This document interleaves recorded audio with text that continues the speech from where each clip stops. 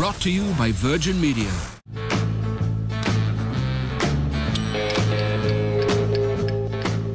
One of the big success stories in Irish cinemas this year was Mark O'Connor and John Connors' pulsating crime drama Cardboard Gangsters, which is now out on DVD. For those of you that haven't seen it yet, here's a little taster of what you can expect. Look at that on this crew.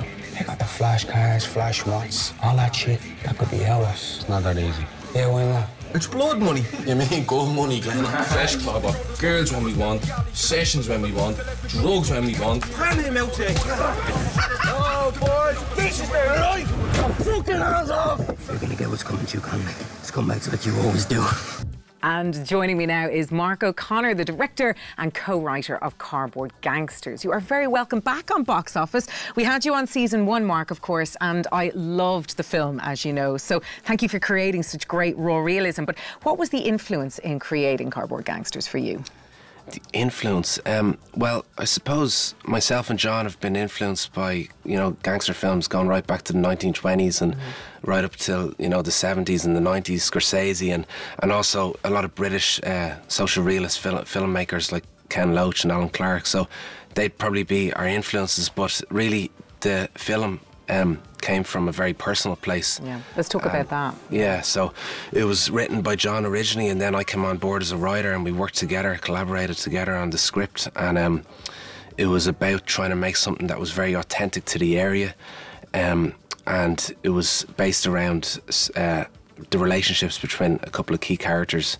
Um, Dara and his wife, and uh, and John and his and his friends. So in, in, in, I suppose the subtext in the fact that they lived in Darndale, and of course, uh, John lives there currently still. So, how did the people of Darndale react to the movie?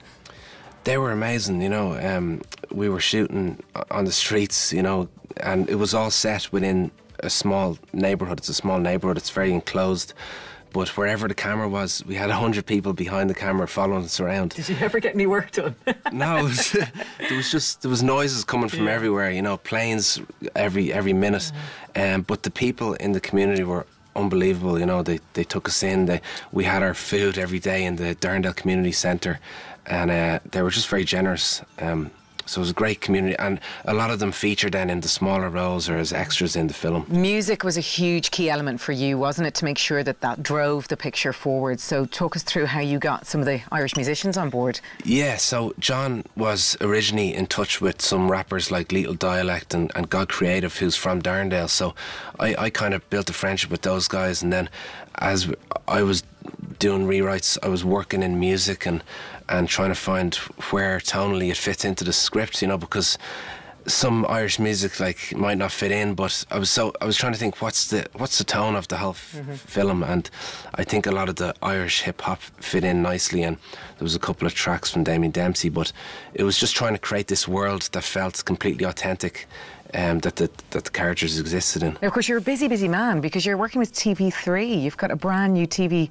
drama series on the way. T- tell us about that. It's a really exciting project. Yeah, yeah. It's, uh, it's called Darklands. Uh, it's a six part uh, drama um, for Virgin Media and TV3, and I'm co writing it with Adam Coates, and we've just finished writing episode six, so hopefully we'll be going into production soon. You know, it's uh, it's been a long process. We've been developing it for two to three years now. Wow. So it's exciting, you know, to hopefully shoot it soon. Mark, thanks very much for joining us and we're so thrilled that everything is going great for you. Well done. Thank done. You. All right, and you can win yourself a copy of Cardboard Gangsters by answering this question.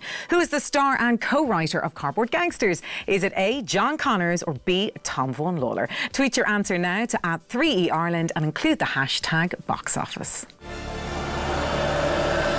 Brought to you by Virgin Media. A new era of entertainment awaits on Ireland's fastest broadband network.